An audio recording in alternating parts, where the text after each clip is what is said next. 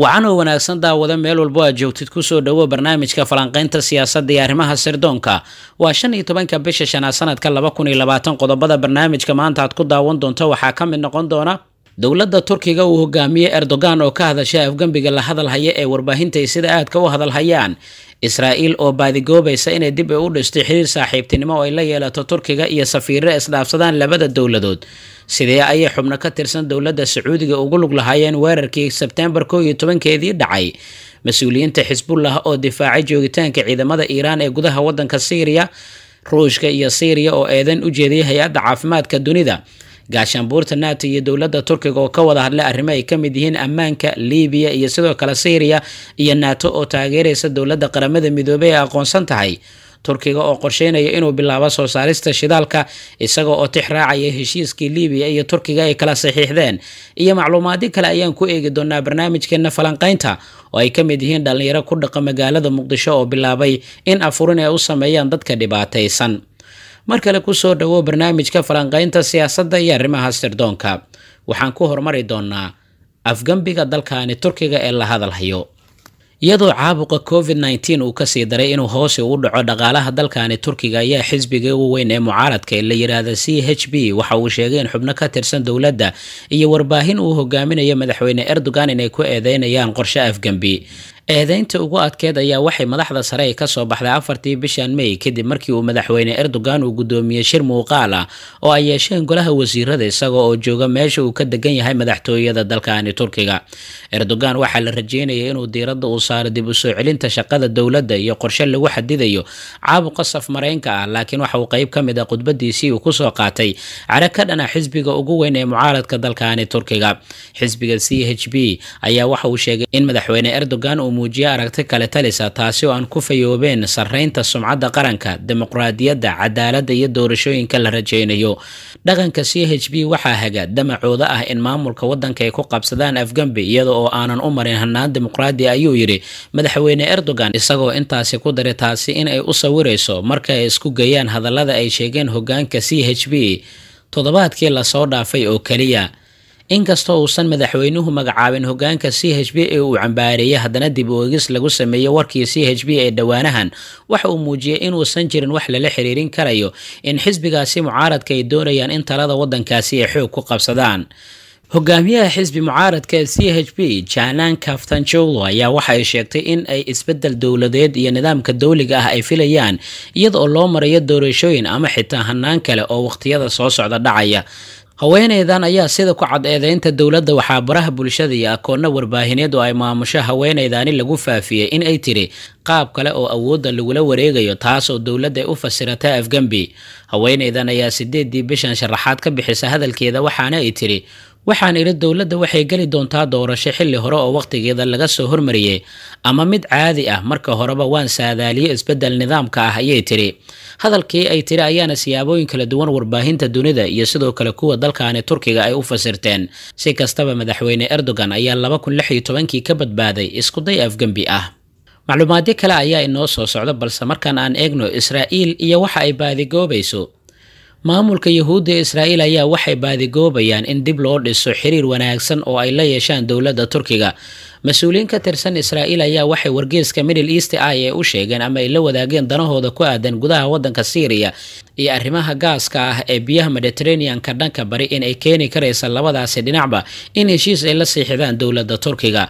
Mas'uuliyiinta israa'iil ayaa waxay sheegeen in ay baadigoob ay ugu jiraan in ay dib ay u hirgeliyaan in ay xiriir wanaagsan oo dhanka diblomaasiyadda ay la yeeshaan dowladda turkiga iyadoo ujeedadu ay tahay in labada dhinac ay isdhaafsadaan safiiro mas'uuliyiin ka tirsan israa'iil ayaana sidaas u sheegay wargeeska middle east i inay iyaga ay yihiin kuwa baadigoobaya xiriir wanaagsan oo ay la yeeshaan dowladda turkiga labada ujeedo ee keeni karaya inay isku soo dhowaadaan israa'iil iyo turkiga ayaa waxay tahay sida macluumaadka lagu helayo danaha ku aadan gudaha waddanka syriya oo turkiga dhaqdhaqaaq uu ka wado iyo gaaska dabiiciga ah ee la doonaya in la marsiiyo biyaha mediterranean-ka gaar ahaana dhanka bari ma jira ilaa iminka wax war uu ka soo baxay dowladda turkiga oo arrintaani ku aadan. Iyo sidoo kale hadalhaynta sida aadka loo hadalhayo ee ku aadan in turkiga iyo sidoo kale israa'iil ay yeelan karaan xiriir diblomaasiyadeed. Maalintii shalay ayay ahayd markaan kula wadaagnay macluumaad ku saabsan in dhanka telefoonka ay ku wada hadleen xubno ka tirsan labada dhinac wasiirada arrimaha dibadda ee qubrus masar faransiiska griiga iyo imaaraadka carabta ayaa dhowaan waxay soo saareen warbixin ay sheegayaan in dowladda turkiga gaaska dabiiciga ay doonayso inay ka soo saarto biyaha dhanka libiya inuu yahay mid sharci darro ah. Sidoo kalena arrintaas walaa xoogan ayay ka muujiyeen. Inkastoo israa'iil ay saaxiibo dhow la tahay qaar ka mid a dowladaha heshiiskani soo saaray dowladda turkiga ayaa dhinaca kale waxaa la filayaa inay bilowdo soo saarista shidaalka oo ay ka soo saarayso biyaha libiya ee dhanka xuduudda ku yaalla iyadoo la tixraacayo heshiiskii dhowaan lala galay dowladda qaramada midoobay ee aqoonsan tahay. Markana aan eegno macluumaad kale dhallinyaro isxilqaamay oo ku sugan magaalada muqdisho gaar ahaana degmada wadajir ee gobolka banaadir ayaa waxay bilaabeen inay anfurin ay u sameeyaan dadka danyarta ee ku dhaqan qaar ka mid ah xeryaha dadka barakacayaasha ee ku yaalla degmada wadajir ee gobolka banaadir dhallinyaradan ayaa waxa ay sheegeen inay aada u yartahay awoodooda ku aadan inay anfurin ballaaran ay u sameeyaan dadkaani danyarta ah waxaana ay dalbadeen dad walba oo ka qayb qaadanaya anfurinta iyo sidoo kale inay baxsadaan sadaqada inay ku hagaajiyaan si ay u gaarsiiyaan dadka u baahan ee tabaalaysan kuna sugan. Degmada wadajir ee gobolka banaadir qaar ka mid a dhallinyarada ayaa muuqaalada ka soo muuqday iyaga oo qaybinaya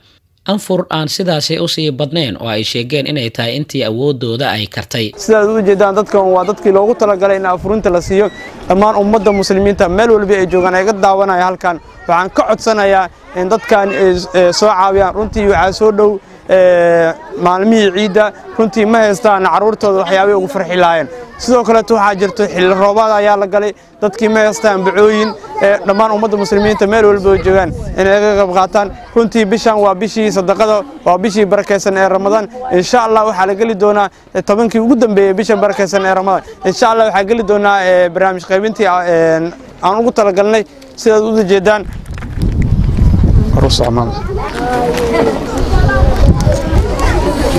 dhammaan ummadda muslimiinta meel walba jooga waxay kaga qayb qaadan karaan lambarada shaashada ka muuqdo. Haddii aad ku darsanayso sadaqo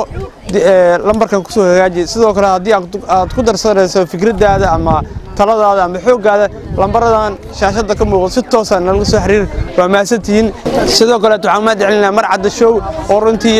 barnaamijkan noo suurageliyey inaan bulshadan qaybeeda kala duwan aan la wadaagno. Runtii aad iyo aad u mahadsan ustaad mar cadde. Markaana aan eegno xisbullah ururka xisbullah ayaa markii ugu horreysay waxay ka hadleen hadaladii muddooyinkii ugu dambeeyey soo baxaya iyo bartilmaameedka israa'iil ee ku aadan ciidamada militariga ee dowladda iiraan iyo kuwa daacadda u ah ee ku sugan gudaha waddanka siiriya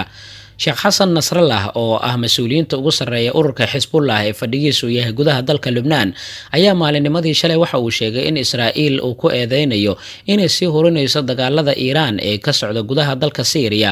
gaar ahaana kuwa lagu bartilmaameysanayo ciidamada dowladda iiraan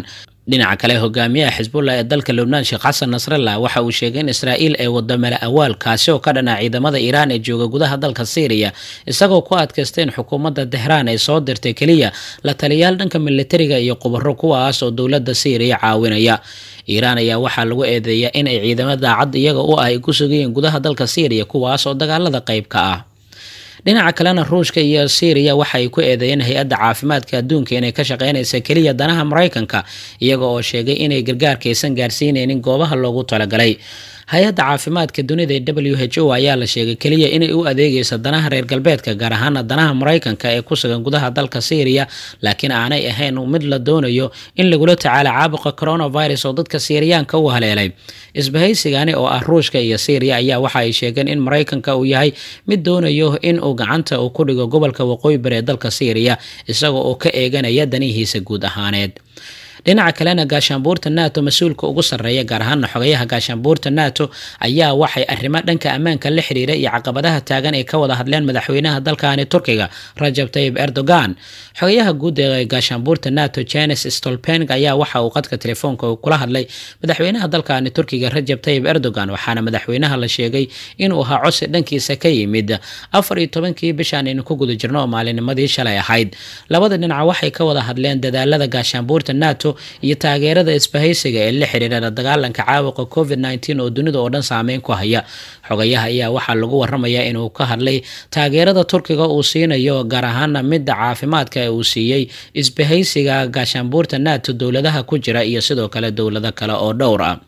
waxaa lagu waramayaa inay ka wada hadleen arrimaha dhibaatooyinka ammaanka ee xilligaani taagan. Arrimaha libiya iyo syriya ayay soo hadal qaadeen iyo isbahaysiga turkiga. Ujeedada uu doonayo inuu gaashaanbuurta naato uu ka helo. Macluumaadka soo baxayana waxay sheegayaan in naato ay ballan qaaday inay taageerayso dowladda qaramada midoobey ee aqoonsan tahay ee ka dhisan gudaha wadanka libiya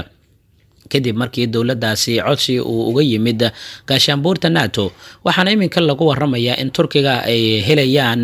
taageero weyn oo ku aadan dhanka gaashaanbuurta nato maadaama haddii nato ay taageerto dowladda qaramada midoobey ee aqoonsantaha isbeddel weyn libiya uu ka imaan karayo